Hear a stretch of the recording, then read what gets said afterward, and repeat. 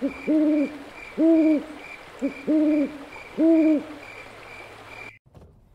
right, so I want you to see here. See how I'm clear over in this lane. I'm literally in the other person's lane. If you look back in that mirror, which I want you to see in that spot mirror, just look right in there. See how you see that there's a whole other lane there? I'm doing that 100% on purpose because when I get up here, I want to make this corner as easy as I can for myself. And I know it's just not that busy. So I'll look to see if traffic's coming. I'll look to see if traffic's coming. I'll do a small stop. I'll come clear out to here, but now watch my rear wheels. They'll be able to come as I go clear across. They'll follow me and I'll make a perfect turn right into my lane. See that right there? They just came right in. Boom, I'm right in my lane. My trailer never really got in the other lane. It just brought me right to the right lane because of how I positioned my truck in doing that. Now I get it, you can't always do that, but if you can, that's how you make your life easier when you're pulling a trailer is by looking at routes that make yourself make your trailer get where it needs to be without making it complicated on yourself. And it takes a little bit of time to start thinking those through, but the more you do that, the simpler it is to pull something bigger and uh, makes it easier and funner for you to haul it down the road. So now we're coming down to this, you'll see a big corner.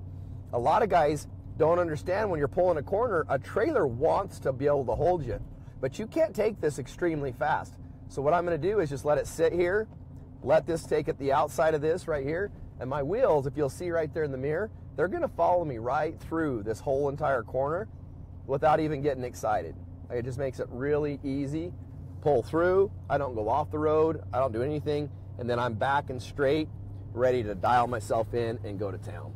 Um, it's a big important thing when you're pulling a trailer to understand braking is it's super super critical. And i know you guys know that but what we don't think about is is when we have cars in front of us how far of our distance that we need to brake things like that. Now i have an exhaust brake in this truck right here so you can see that it's right here. You'll notice that i have it turned on. Um, i think it's really important um, unless unless it's really icy roads then i would not turn your exhaust brake on but if it's not it's roads like this I would utilize my exhaust brake because it's, it just takes more life. It keeps more life in your brakes. So right now, if you can see, I'm starting to slow down as we speak.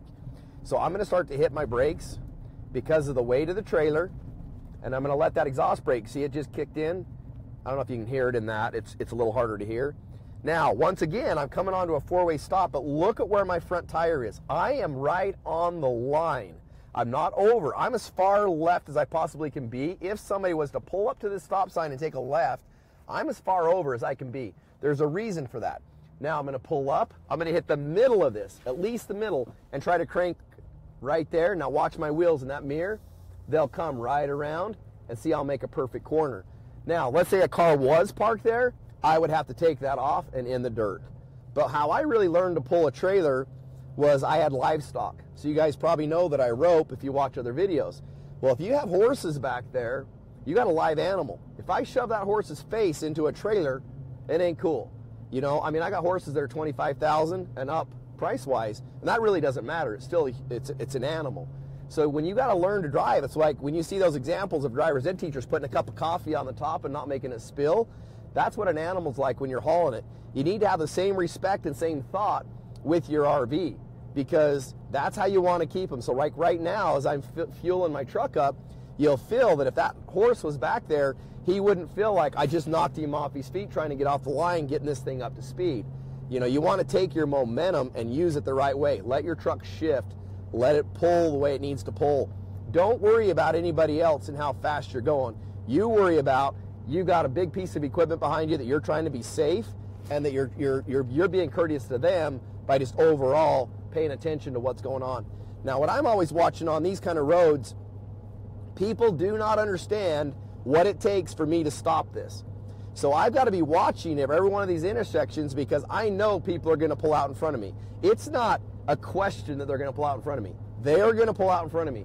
If I'm not prepared for that as I'm driving this truck, shame on me because that means I'm not being attentive. And with this big of a piece of equipment, I've always got to be watching to see if somebody's going to be pulling out. Because if they do, I've got to be slowing this down. Regardless if they're in the right or in the wrong, I got to be slowing down or I'm going to run into them because it takes me twice as long to slow if I do it right as it does for them to pull out and be stopped in front of me. So really be paying attention to your traffic, what they're doing, and uh, you be the, I guess, what I would say, the most alert and attentive driver when you're on the road with something like this. So I see that truck right there. I know he looks like he's turning this way, so I'm not as worried. But see, he's a good example of he could have pulled out in front of me, so I have to make sure I know he's there and see what I think his intentions are going to be. But those are the things I'm talking about when you're pulling something like this that you just have to be super attentive. And I don't want you to get over stressed out, but I want you to want you to understand the things that I'm paying attention to so that, you know, I can try the best I can to prevent um, an accident or prevent something from happening. Now, this is another thing that freaks a lot of people out. You see those cones out there on the right? That means that I'm going to have to be over into traffic a little bit to be watching that. Just remember that this, these trailers are no wider than your pickup, but barely. So you're going to miss that even if you just stay straight. Don't get overly anxious right here to get out of your lane. Because if you do, then you cause other people to have to get further over. And if they're on their cell phone, they'll hit you and you'll be the one fined for it because you were in the other lane. Now, you'll see this semi going to make this corner. He's a good example to watch. Watch how far over he will go. He'll go clear over to that. You'll see that barrier. He's going to go clear almost and hit that. See that? Before he ever cuts back in to make that trailer, make that corner. It's a perfect example of what we're talking about, how wide he got to make that happen. Now my light just changed. So I'm going to come in. I'm going to stop, but I have to be in my lane, which you guys know.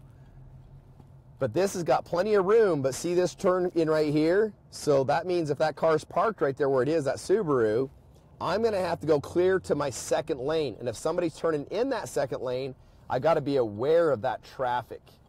So I got a pickup coming that I cannot make this corner in time to beat him.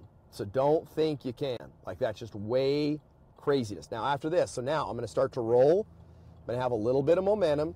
I'm going to go clear wide into the outside lane. I'm not going to even go into my lane because if you look at my trailer, it's going to hit both lanes. So I don't even have to stress about pulling it into that.